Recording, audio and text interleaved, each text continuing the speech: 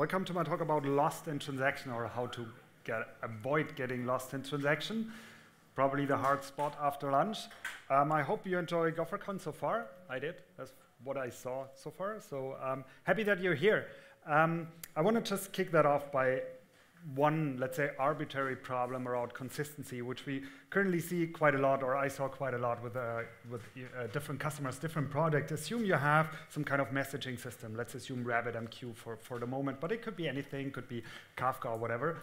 Um, then you build a service which probably does some business logic, does something useful, and probably writes to a database um, for doing that. And then let's assume you want to send a response on Rabbit, and you probably want to emit a couple of other events onto the bus as well as part of that business logic where you tell the world, hey, I did something. So that's not a, not a really untypical um, thing to do, actually.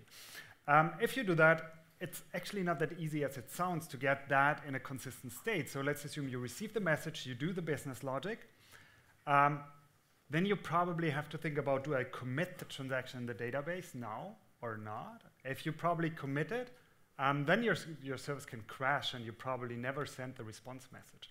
If you wait um, with the commit until you send the response message, um, probably you send the response message to Rabbit, you, you, you made that call, and then it crashes before you commit the transaction, because that's not a transactional thing here. You can't do a joint transaction here.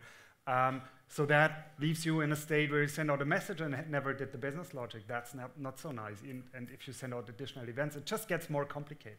So that's a very easy and very common scenario, and we already can see that it's not so easy to reach consistency here. There, there's an idea, and I'm not sure how many people um, here heard about two-phase commit. I almost checked that. Who uses that in production? One and a half, no, nobody. Wow, okay.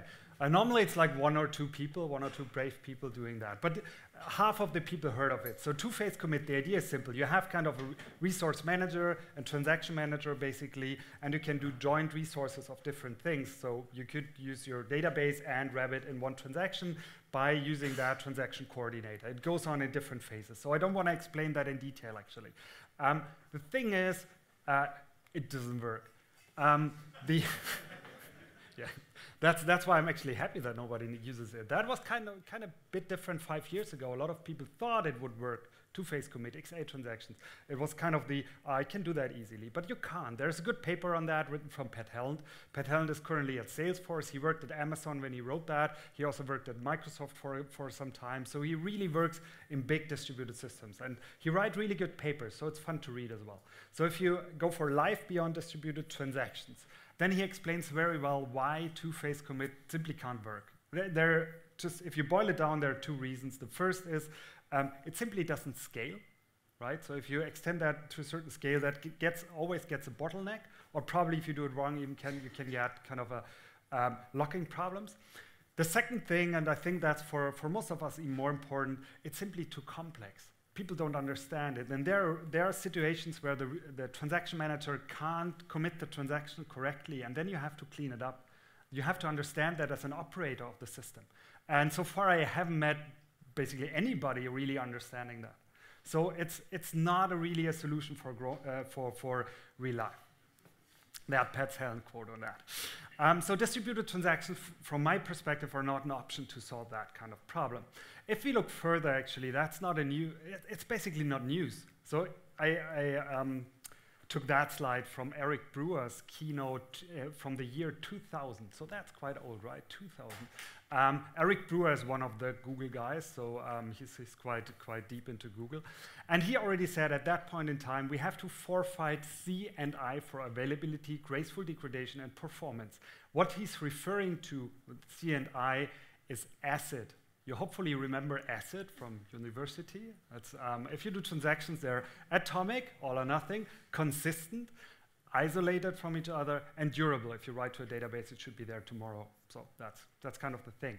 And he already said at that point in time, if we want to write really scalable systems, then we have to let go of consistency and isolation. And I explain what that means in a, in, a, in a, minute. He phrased that as BASE. That's an acronym that never took off, actually. So it's basically available soft state, eventual consistency. But that, that part probably took off a bit, right? We, we now know what eventual consistency is. or we should know, or we're probably talking about that quite a bit. If you look at it in a way, um, that's my slide on that. So if you do two things, whatever that is, right, and you can't do a joint transaction, that's just not possible. That's what Pat Helland explained pretty well. And then you do local transactions, like for your database and for Rabbit, for example. Um, these are two different local transactions. And what you make sure is that even if you have an inconsistent state in between after, uh, after committing the first, um, that you somehow clean up later on. And I explain how that could be done in a minute. Um, and that, then it doesn't matter if that's a resource like Rabbit or if you do different microservices. That's why this really gets big nowadays. If you do two different microservices and they want to do atomic things, it's just not transactional. And so on and so forth. If you look at domain-driven design, there's, there's the concept of the aggregate and so on and so forth. So that's where it's getting quite famous. Interesting enough, that doesn't violate the consistency constraint of ACID. In ACID, consistency means that your data store is always consistent. It's not null constraints, foreign keys, these kind of things. So it's really, in the data, it's consistent. That violates the isolation because now you write something to the database, some other thread, some other service can already read that even if you're not really done, right? Um, and that's kind of the thing we should get used to nowadays. If you look at the example from the beginning again, something um, what I see a lot of people at the moment doing uh, to solve that is actually, okay, I have my RabbitMQ, I have my service, for example, in Go, I receive the message, then I do one transaction. And then tra that transaction not only does the business logic, but a lot of people do what's called the outbox pattern, do like a separate table, a second table here in my relational database, where I can write something to do, like a job. Hey, later on I want to send the response, and later on I want to emit some events. But I don't do that now. I just write the information that I have to do it. And I can do that transactional because now I'm only talking to that one database, and that can do transactions. So, and then I need like um, another job or some kind of scheduling mechanism in order to pick that up and say, hey, I wanted to send something, so now I do it, and so on and so forth, right? Um, that's a pretty common pattern, actually, what I see there, the outbox pattern. If we look further, and one thing you can see very easily here as well, um, let's assume the following uh, error scenario you did everything right here. Now you want to send the response. You send the response to Rabbit. It's still not transactional. So you send the response, it's sent, and then you want to commit that the job is done and the service breaks at that point in time. Right? Then you, have, you don't have the knowledge that you already have sent the message. One thing you have to really look out for in these architectures is that you do retrying, because then you will resend the response. That will happen in that case. And that's something that's also very natural in distributed systems. Um, Pat Helland, again, I'm, I'm a big Pat Helland fan. He wrote another paper where he said building, or it's called Building on Quicksand. And there he introduced more or less a bit like Base from Eric Brewer, but he's better in marketing. So he named it ACID 2.0. And when he wrote the paper, 2.0 was the thing, right? That's, that's kind of the modern thing. Um, so it's ACID 2.0, and it, it, stands for Associative Commutative. So that's kind of, I'm not really talking about that today, but that's kind of your service should always um, not, if possible, not rely on the ordering of messages. So if you get out of order messages, you can still work. That makes your service much more robust, especially if you're running in a distributed or uh, asynchronous environment. Idempotent. Idempotent for me is one of the most important characteristics of a service actually nowadays in distributed systems. I make an example of that, but I'm not really focusing on that too much today. And distributed. And distributed is the thing we, we, can't, we can't choose today. So uh, basically everything gets distributed, right? Um, so that's the thing we have to live with. Um, yeah, that's basically a math. Um, and for me, I always use that metaphor for distributed systems. That also gave the like the um, cover picture of the talk. Um, there's a small hut the small hut, that's your one service. That's your one resource. That's where you have, where you know what your threats are doing. That's where you have ACID transactions. It's cozy to be in there. You understand what's happening. But whenever you open the door, then you face that rough ocean, and that's the network. Right? And the network will do cruel things. So you probably know the fallacies of distributed computing. If not, you should. Um, they're on Wikipedia, so they're a thing. Um, and the first one is the network is reliable, right? It's a fallacy. Of course, the network is not reliable. I mean, if you use whatever app you want in the Wi-Fi here in the subway in London, it's like, whoa. sometimes it works, sometimes it doesn't. And it's the thing is, it's also not binary. It's not it's there or not. It might just lose bits. It might do weird things. So it's, it's really a challenge to work with a network. That's a distributed system. And you can make very easy examples. Let's assume you do build two microservices like for example in Go or whatever language. Um, you have the payment microservice to retrieve some money for whatever you want to offer. And then you have like another service, probably even a SaaS service somewhere, um, to charge a credit card. And then you say, in the payment service, I want to charge that credit card. Now, um, as that's a remote call, um, you have to think about situations that the network is probably not available at that time when you do it, right? That's typically solved with retrying. There are a couple of frameworks around that where you can do retries. Or in the simplest case, you just, whatever, delay a bit, do a loop, and do a retry. That's probably still doable. The thing is, the first important thing to notice here, in order to be able to do retrying safely, the other service has to be idempotent. And you will always have this kind of situation, independently of gRPC, REST, messaging, whatever, you will have retries over there, and that means you have to recognize that. So just a very simple example, um, if you just charge the credit card with the whatever I want to charge, that's not idempotent. You need, very often it's about some kind of identifier. And the trick normally is to generate that identifier as early as possible. So whenever you create, you want to charge the credit card, you generate an identifier here. And if you redo the call, that's the same ID. And then this guy um, can easily detect duplicate calls. But he has to do it, and it has to be part of the interface. Okay, that's very important. Idempotency is really, really important. But the thing is, that's just the first step. The next step is like, we're still in distributed systems. So there's one ca characteristic which, I, which is really ugly from my perspective about distributed systems. If you get a network error, a network exception, um, you, you have no idea which of these three scenarios just happened. So it could be that the network was broken when you tried to reach the service provider. It could be you reached the service provider, so basically your other whatever Go routine there, and it blew up, the server exploded. Did it commit its transaction? You have no idea. Or probably everything worked fine and you just lost the response in the network. So all these three scenarios are possible. And you have no idea which of them just, just happened. You can do the same uh, exercise with messaging. You send out a message, never get a response. You don't know, right? And that means in some cases you have to think about it. So for example, in our payment case, even if I don't reach or I get network exceptions while trying to reach the credit card service, it might be that I charge the credit card. I don't know. So I have to think about that, right? So I probably, in this case, I could, it depends on the service, the strategy, but it could be that I have to clean up or that I ask if I charge something before um, just like leaving it there. It depends a bit on the business situation. It might even be that ignoring it is kind of a good idea. With payments, it's typically not. I mean, people are not that particularly happy. Um, if you charge it and then say, hey, you don't get your order, you didn't pay. Um, right? Um, that's a small, I mean, that's a very small example you can do here, but it already um, shows a couple of the problems you will run into.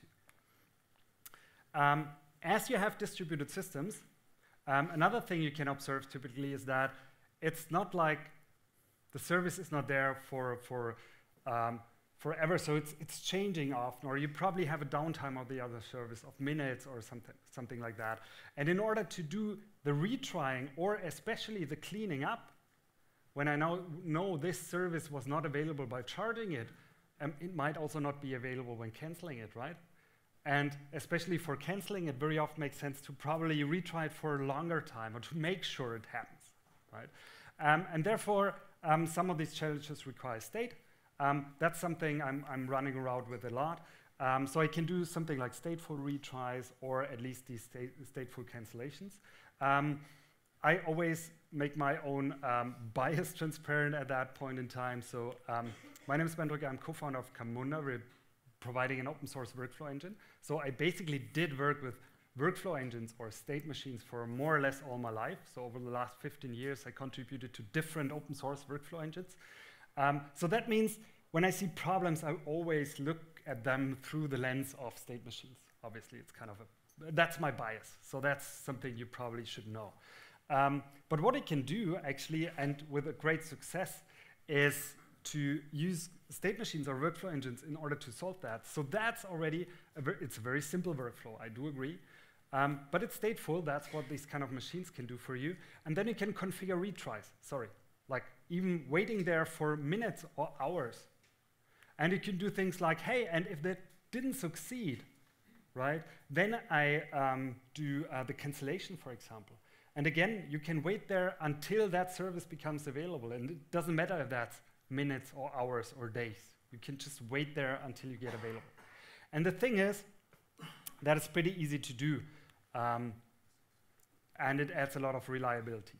Um, as I'm basing a couple of the next patterns upon like state machines, um, I want to give you an idea how that works, and I also give a quick live demo, at least that you understand what I mean by that and what, what kind of code you have to write in order to do that. Um, if you're familiar with DDD, that's a hexagonal architecture. I like that actually from how, how I think about applications. So you have your domain logic, and the domain logic is also business logic and these kind of things. And for me, these kind of workflows, they are domain logic. What should I do if I couldn't charge the credit card? That's a business decision. Can I ignore it? Can I cancel it? How do I cancel it? Right? When should I send the payment failed, or should I probably retry that for days or whatever? There are a couple of options there. That's domain logic. And then, in order to run these kind of things, you need infrastructure like a probably databases or a workflow engine. And in this case, I want to use Zeebe. That's an open source product. We started that uh, three, four years ago. Um, it's, we just reached a production ready state and going into production with a couple of customers. That's, um, it's very lightweight. I show that in a minute. It's open source, so you can just try it out yourself. And it's the buzzword like cloud scale. So what we, what we did there is it's an own distributed system and it scales horizontally. So you can really do a lot of load on that. You can do a lot of throughput on that, which unlocks a lot of these kind of use cases. And let's give you an idea of what I'm talking about. Um, what I have here is basically, I have, where is that here? Right, I have a so-called, I call it Stripe fake server. That's my credit card server, okay, where I can make charges on credit cards. Then I have a very easy Go program. Is that readable in the back? Yeah, are you interested in reading it? was a bit like a slow reaction. Um, what I do there is pretty easy. I just start an HTTP server now. That's my payment service. Um, in order to handle payments here, it's not very nice code. It doesn't do fancy stuff. It basically just charges the credit card, which is do another HTTP call, right, um, on, th on that other service and then if that works, it returns um, uh, status OK, otherwise at 500. Okay? That's typical code, right? Um, I hope. Otherwise, correct me. Um, so what I can do if I run that, I have it, I have a REST service. Um, what I can do is I can put payments now on that service running here.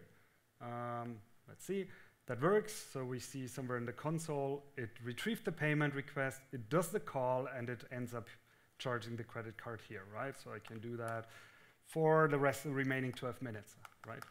Um, probably not so fancy, right? So um, what I will do is um, I will shut down the um, service. So that could be a, whatever, a network outage, a failure, um, service outage, whatever. Um, if I do the request now, it's not too hard to guess. It should be a 500, right? Because it can't reach the other service, right? So that's the situation like where I where I'm currently am. And what I want to do is um, now I want to use um, a very easy state machine in order to change the behavior. Um, so what I have here is a very small workflow. It's a BPMN. BPMN, it's an ISO standard. It's kind of a language for workflows. So that's not an invention from, from, from us or something like that. A lot of engines actually using that. And there I can say, hey, here's where it starts. Then I want to charge the credit card and then either it's successful, then I go that path or the other. Um, I don't explain all the details. If you're interested, it's on GitHub or ask me later on. The interesting part here is charting the credit card. How is that done? And I will walk you through the Go code in a second. Um, what, we will, what we need to remember for later on is there's uh, a so-called task type. It's called charge credit card. And I can define retries, like how often should I retry, this kind of thing, okay? Um, if I go back to the Go code, um, what you can see here, it's still starting the HTTP server. That didn't change much, right? So that's more or less all the same. Um, charging the credit card will be a bit different. Um, what I now do um, in my init, to init the whole thing, is I connect to the workflow engine. In this case, that's um, so-called Zeebe. Zeebe is that open source project I was talking about. I started, by the way, Zeebe in the background already. Um, I use the Docker Compose file we have online. Um, you can use Docker. You can just download a distribution and run it if you like. So that's really, really easy to get going. Then I define what we call a job worker. So here's the connection to the, to the graphics. So the charge credit card means whenever there's something to do for charge credit cards, call that handler here. And the handler is a function I um, define um, further down. I look at that in a minute. And then I get streamed the work into, into the client and execute it there. And then what I need to do also, I need to deploy that workflow file I just defined into the broker um, that it knows it. And that's more or less it. And then if I charge the credit card, um, instead of doing it directly, what I do is I start a new workflow instance of that type. So that now um, relates to um, some idea here. And that's more or less it. And then I um, have the handle charge um, method, which basically reads a couple of data from the workflow and then does the HTTP call. Right. That was probably too quick for most of you. I, let's see. Um, but the good thing is it's on GitHub, so you can, like in the code, you can dive later on. For me, the main goal was to give you an impression of what you have to do and how complex it might be. So if I start it up, what it does, it deployed the workflow model to my um, workflow engine in the background. Um, you have a couple of UIs. So for example, there's um, the so-called simple monitor. That's kind of for um, playing around. That's a nice tool. I can see that it just deployed my workflow. What I also see is I know, don't have any running instances. As soon as I do the REST call, um, hello, um, the first thing you notice I changed 200 to accepted, so I'm not getting the 500 anymore because the workflow engine got the request and it's still trying to do it. So if I'm looking at that, I'm seeing it's currently here. And what you can also see in the background that it does the retrying, like it tries it for a couple of times um, until it reaches the limit of retries, and then it, in, in my case, it goes that way. And as I haven't implemented that in the, in the small example by, um, by default, it waits there for quite long, actually, forever, more or less. Um, why not? It's a demo. Um, if I start up my Stripe fix server again, so if everything is good, should be there in a second. Thank you, Windows. Um, um, right, now everything is green again, and if I refresh now, I will see that I have instances now going in the payment retrieve path. So no retrying going on. They're directly um, just moving through. And actually what you can see if you measure, this doesn't add a lot of latency actually. It's in the, in the really low milliseconds um, thing. So you can easily have this kind of workflow supplied. Um, that's all for the demo. I know that was really quick. So my, my goal was more or less to give you an idea. So you can run that um, workflow engine, that's relatively easy, or have it as a SaaS service or whatever. Um, then you can define these workflows in your domain. And then you can use that for a couple of use cases also around consistency. In my case, that was kind of either the retrying or the cleaning up and make that reliable. Right. That also gives you a, a, solution, a possible solution at least, to this problem I started with. So um, at one specific customers, uh, customer, they had exactly that problem where they had REST calls here and they had around 30,000 per second. And they had that situation, and whenever you had the response, the REST call was blocking until he got that, and then he returned the response. And what we could do there is, um, well, sorry, remove the animation, um, do a small workflow because then you get rid of doing all the outbox stuff yourself. You have and with the outbox normally comes a scheduler, and you have to have that scheduler, scheduler. you have to monitor it. And there you basically define a small workflow where you say, hey, the first thing I do is that business logic. When it's committed, it's done. And then the workflow engine makes sure the response is sent sometime later, even if it's not possible at the moment, and so on and so forth. So that's relatively um, straightforward. Good.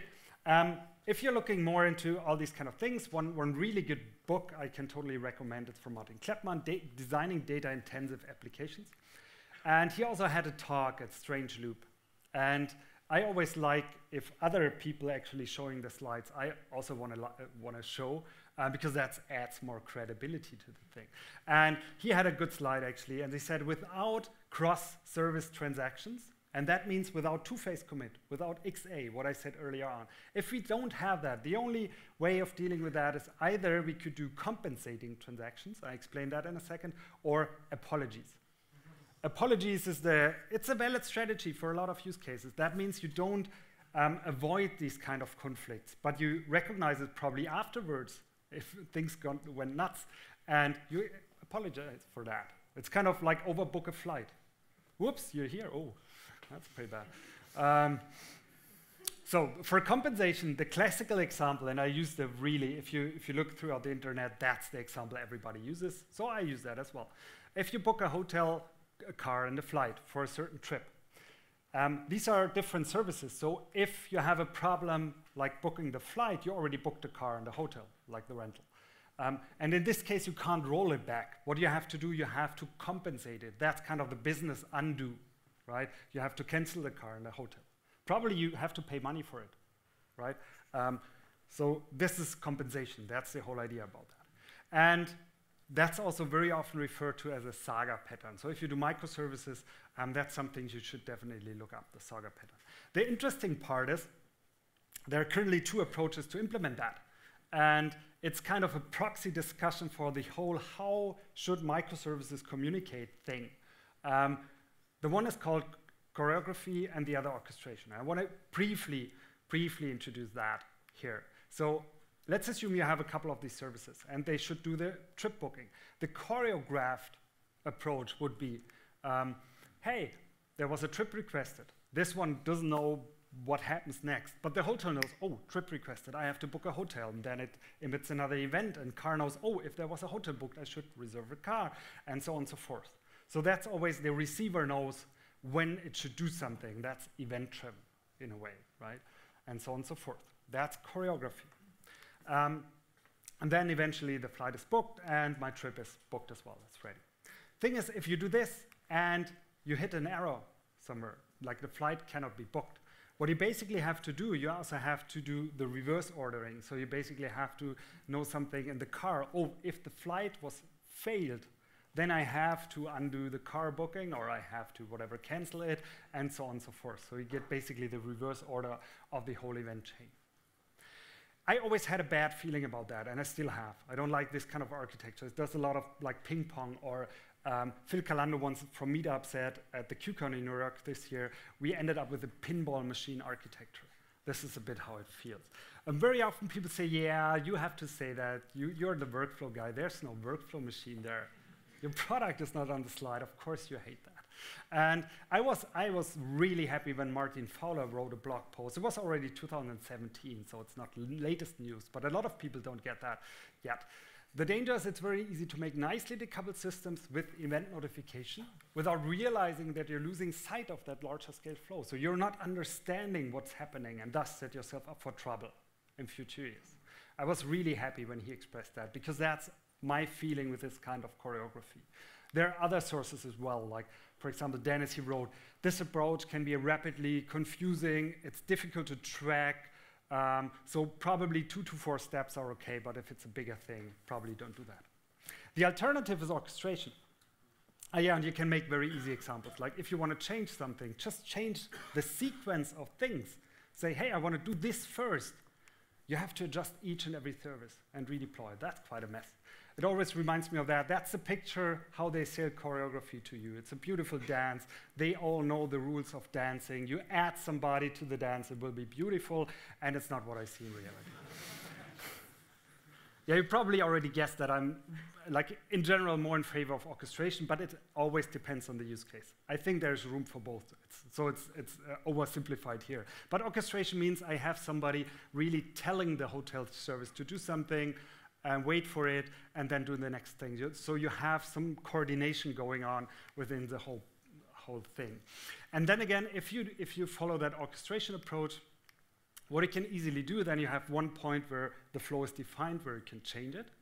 And um, you could define these kind of sagas or compensation flows also within um, workflow engines. So BPMN, for example, is capable of doing that. If you look in the example, like in the, in the GitHub, I have the same thing for Zeebe, for example, defined.